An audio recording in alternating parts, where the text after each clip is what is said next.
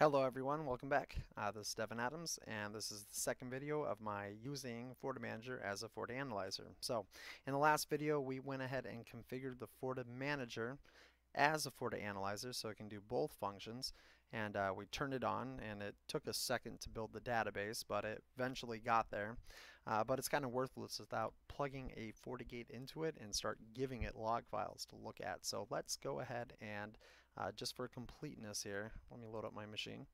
All right, and we'll go to the FortiManager. So here we go. It's now using Forti Analyzer's right features. So, but if we go to Device Manager, you can see there's nothing connected to the FortiManager or the FortiAnalyzer. All right. Now, one thing that we must realize that even if you have a FortiManager, you do not have to centrally manage the FortiGates to collect the log files. Okay, so uh, we might do that in a different demo, but for here, our goal is just to get the FortiGate to pass along log files to the FortiManager so it can start like generating reports and do all that fun stuff. So let's go ahead and get to our FortiGate. Now this FortiGate is this guy right here and we were a pharmaceutical company in the last demo so that's why it's Drugs R Us Lab. Nothing to do with like you know illegal drugs. So here we go. Drugs R Us. Catchy. Okay, so here's my my FortiGate. And if I go to my dashboard, uh, you can see that my FortiGate, um, let's see here, is collecting logs. Here we go. Looks like it's really crunching away too because I'm doing a whole bunch of log gathering. Um, but essentially, yeah, just looks like a FortiGate. No big deal.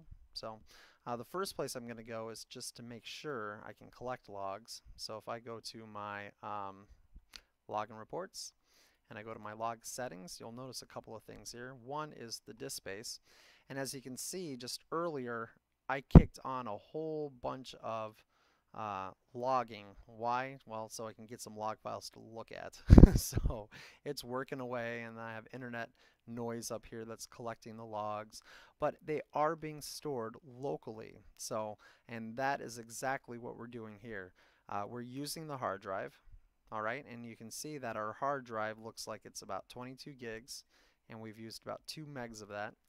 And also this enable local reports. Now I'm going to shut that off and the reason why is because we're passing this along to the FortiAnalyzer, FortiManager as a FortiAnalyzer. We do not need to have that uh, extra uh, demand on our FortiGates if we're not going to be running the log, uh, the logs, or not the logs, the reports locally. So I'm going to shut that off.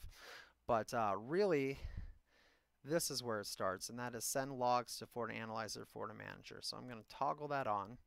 And the first thing it's going to want us to do is put in the IP address. Well, that's fine. I'm going to put in, uh, nope, it was 192.168.1.10. Now, there's a couple of things that we need to check after we do this. But for right now, uh, I know that's the IP address. And don't worry when you hit test connectivity and you get an error message here. All right, and that's because uh, we have not approved the device on the FortiManager. So it is not allowing it to talk directly with it. So we're going to fix that here in just a moment. But right here we have to ask ourselves, do we want to store and upload the log files or see them in real time? That's going to be all up to you, all right, as a, as a, uh, as a administrator. So as you can see, we have daily, weekly, or monthly log files that we can store. If I'm not worried about seeing events in real time, on the FortiManager, right? If I can just maybe use those FortiAnalyzer features of the FortiManager just for reporting, you can take advantage of being maybe uh, connected off hours to push all the log files going forward and that way you can run your reports for the last week or what have you. Um, now in real time just understand that's going to be a little more resource intensive on the FortiGate because as log files get generated they will be passed to the FortiAnalyzer. Uh, really great though for devices that don't have hard drives. So if you don't have hard drives, then the FortiManager can only store it, or the FortiGate can only store it in its memory, and and will lose that accountability of those log files once either the memory runs out, gets overridden, or you know uh, the FortiGate gets rebooted. So now this will encrypt the log transmission Uh, I'm going to turn that off, right, just simply because we are on our, our local area network here and I'm just demoing it. It's going to be up to you if those uh, log files should be encrypted or not. Um, anyways, and then once everything starts working, we should see some kind of graphical representation of that happening. So uh, let's go ahead and hit apply. All right. And all right, that looks good there. So the next thing I'm going to want to check though is that I'm going to go to network and I'm going to go to interfaces. And then I'm going to try to find, here we go, port 3, where that uh, FortiManager manager lives off of. And if you guys notice, there's a special access that needs to be enabled whenever there's a FortiManager manager or a FortiAnalyzer that connects with the FortiGate. And that is the FMG access. So and you're, you're going to want to enable that on the interface that points to the FortiManager or the FortiAnalyzer. All right, I'm going to hit OK. So now they should be able to talk to one another. Okay, that looks good there. So what now? Well, we have to go back to the FortiManager. And right away, I doubted that you noticed, but I have an alert. Wait, what? One unregistered device? Yeah, it's our it's our FortiGate. Pretty cool, huh? Management mode's logging only. You see what I meant by we don't need to use the FortiManager features. We can just use the FortiAnalyzer features. And then I'm going to add this device. All right. You're going to need the credentials to log in. Okay. Uh, I'm going to hit all right. Hit close. And now it should show up as logging FortiGates. And we even get a green here showing that they are being passed in real time. And then over time some statistics will show and also device storage, so on, so on and so forth. All right. Um, pretty neat, huh? So let's go over to our uh, log view now and see if they are getting any logs. So eh, it might take a little bit. Let's do a log browse. All right, so we have the 40, the FortiGate, and if you notice here, event logs and traffic logs are separated. So that's kind of cool. All right. And then group is where you can group FortiGates together. Uh, well, let's look at the traffic log. I mean, there needs to be something there, right, guys? And there they are. Oh my gosh. Look how cool that is. Look how cool that is, right? We have cool things like device ID. We have actions, right? We can filter, we can scour, you can even see the device ID here because we have device discovery turned on. We can look at the, the applications and the services because those are all turned on. How neat is that? Also, if we come over here to our FortiView, right? Okay, let's just look at traffic. Let's look at our top sources. Now, nothing is being seen here because we're saying the last 30 minutes, all right?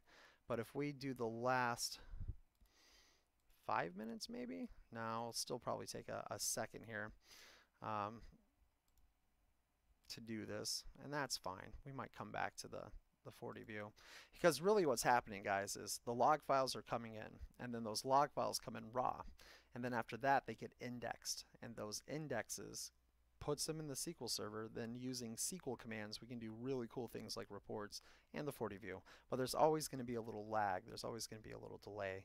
Um, but that's okay because uh, we're usually just not sitting here watching it, right? Um, see what I mean? See how it now just came in the last five minutes? Um, top applications. What the heck is Vimeo? I know what it is, but I don't know how it got there. Uh, I have a I have a make internet noise generating traffic for me. Um, interesting that those came through though. Anyways, um, top browsing users, right? Uh, like I said, it will eventually get get work in there. So um, pretty darn cool though, right guys? Pretty darn cool. And obviously if we had threats or things like that happening, uh, those could pop up too. In fact, let's go over to our event management. And you can see here that we have certain events. And if we go to our, our uh, types here, we can drill down and look at the details. And uh, and obviously my limited um, my limited GUI here you can't see too too much but I promise you guys this is how you can go ahead and acknowledge it failed to get information from dns1.fortinet.com. Okay, sure, uh, so on and so forth. So pretty darn neat if you ask me. So um, now for some reason the FortiGate also tries to communicate using syslog. I'm gonna have to investigate into that. I'm not too sure what's going on there, but that is from my my FortiGate. If anyone has a good answer for that, you can leave a comment. Not like anyone ever watches these, but that's okay. Alright guys, so there you go. So as you can see now, we uh, connected the FortiGate to the FortiManager for logging, and then we viewed the logs. So the only last thing I really want to show you here is if we go to our system settings, you can add the widgets right over here. You can toggle the widgets to actually look at, and of course there's not enough there's not enough uh, data being collected yet. Okay, but essentially you can see that insert rate and that receive rate or you can look at the log receive rates and that will even show you how many logs you're receiving for the last hour and that way if you think you're you're uh, supposed to see something that's not there in FortiView or for the log files there's a difference between the rate and the insert rate and the receive rate so the receive rate is how it receives on the FortiGate. The insert rate, right, is how it gets inserted into the database, and that can create some lag. So uh, that's why also there's a little insert log lag time here that you can see the differences. Um, just something to keep in mind. All right, and also right here, there it is, the licensing info.